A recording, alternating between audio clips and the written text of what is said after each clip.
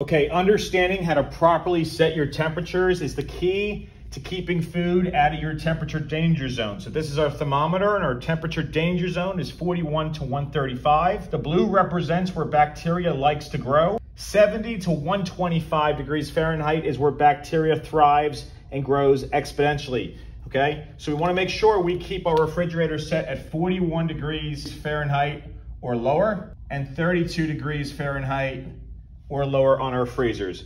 Subscribe to our channel if you want to learn more about food safety and sanitation and how you can earn more money working at your food service job.